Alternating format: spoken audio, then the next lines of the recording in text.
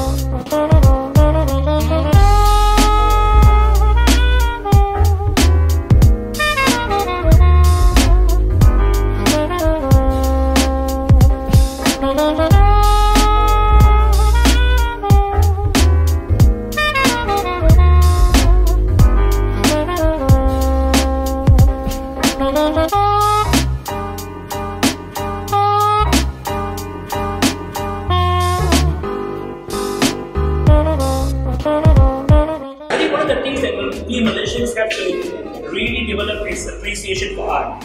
You know, not just look at art and just walk off. You know what I mean? Look at it and learn how to appreciate and study and, and see what stories it tells you.